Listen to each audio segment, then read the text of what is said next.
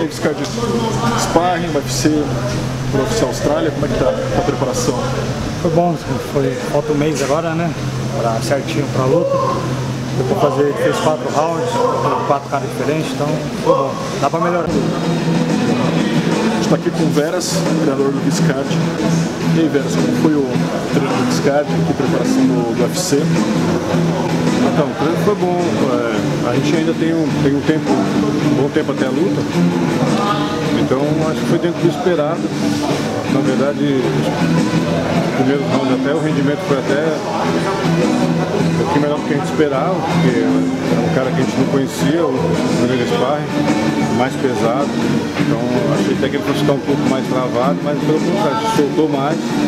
Aí claro, fez mais força e cansou. Aí depois no terceiro round já estava um pouco mais cansado, apesar de ter feito com um cara que já conhece, mas já estava mais cansado, aí ficou obrigado a segurar um pouco mais. E o último round foi mais pra gente ir além do limite um pouco, superar um pouco o limite, porque na verdade a luta vão ser três rounds, então a gente não está nem no quarto round, mas no quarto round a gente fez mais pra realmente dar o acabar no limite, esgotado. Foi o que aconteceu. Então acho que o trabalho está tá numa fase boa.